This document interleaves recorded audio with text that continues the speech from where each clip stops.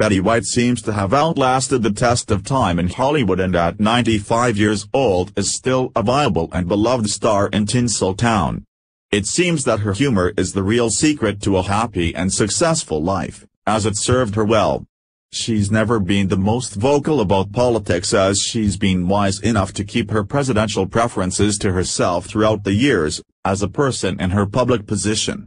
White has always cut to the chase, making her loved and respected among many. Now, we have some breaking news about this bright star, who at the ripe age of 95 surprised us all. Perhaps Betty White's secret to success that other stars should learn from was to be opinionated and witty without being divisive. She certainly mastered that skill throughout her career but recently, something really disturbing has changed. We saw this in full effect when she was recently face-to-face -face with news anchor Katie Couric who pulled her typical trick of trying to get the star to trash President Trump. Couric quickly realized she wasn't talking to the typical famous millennial idiot when White came back with an unexpected response to her bait, shocking viewers who thought they knew her. This feisty elderly actress answered with a really sad response to Couric's nasty, divisive questioning to set her up. What's even sadder, is what and how the accomplished journalist said to the actress. Opposing views reports, underscore on her 95th birthday, Betty White spoke to Yahoo News Katie Couric. In the interview, the pair covered a wide variety of topics. When asked about the current state of our country, White's comments surprised many, video below. Underscore, underscore when the conversation turned to politics, it seemed as though Couric may have been looking for White's thoughts on President Trump. However, White stayed away from commenting specifically on the new president, and instead offered a positive take on things. Underscore, underscore the world is in a very interesting place right now, Couric said. What do you think about the state of our country and how divided it seems to be? Underscore, underscore White responded, it's very divided, and we're not in the best place we've ever been. I think that's the time to buckle down and really work positively as much as you can instead of just saying, this is terrible. He's terrible. Underscore, underscore she continued, just think, alright, there's nothing I can do about that right now but I can do the best in my little circle.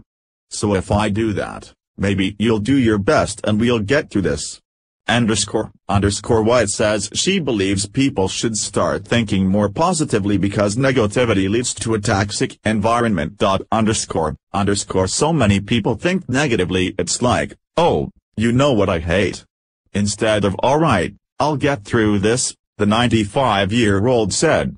Then all of a sudden you start lifting up a little bit, but if you start with you know what I hate, you're gonna go right down the tubes. Underscore, underscore she added, you've got to get through it. And you can't change it, so let's just one foot in front of another and get through it. Underscore, after an insanely long run on the much-loved sitcom Golden Girls and all these years, She's outlived her co-stars since the White wasn't ready to throw her entire career away, as so many others in Tinseltown are quick to do to trash Trump. She's always maintained a non-partial attitude towards every presidency before Trump's who she admitted was terrible, which wasn't a great thing to say, but she left her opinion at just that one word before making the bigger point of coming together and not complaining considering that White is at a place late in her life that she doesn't care who thinks what of her and whether they agree with her, she's got nothing to lose. The same doesn't go for young stars who are destroying their industry one anti-Trump comment at a time, and don't realize it or care. The proof is in the statistics below and they can only blame themselves. People just haven't been going to the movies this summer, at least, that's what the numbers are telling us. According to ComScore, VTHR, both box office revenue and ticket sales declined this summer, hitting record lows, Paste magazine reports. Revenue is down nearly 16% this year, lower than the 14.6 decline in 2014. As the summer of 2017 wraps up, it will end up as the first summer since 2006 to not make $4 billion in the box office. Additionally, ticket sales have reached a 25-year low. It's time for stars to stop abusing their massive platforms for trashing the president and pushing an agenda. White, at her age, should realize that and set a better example for young stars.